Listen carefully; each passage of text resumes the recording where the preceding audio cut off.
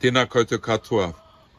Greetings from New Zealand and the South Pacific Ocean. I stand in support of the opening of the Indigenous Embassy Jerusalem, where Māori people from New Zealand and Indigenous people from all around the world can connect with the Jewish people, the Indigenous people of Israel. Mai Aotearoa ki Iharaira from our land to your land. Shalom, shalom.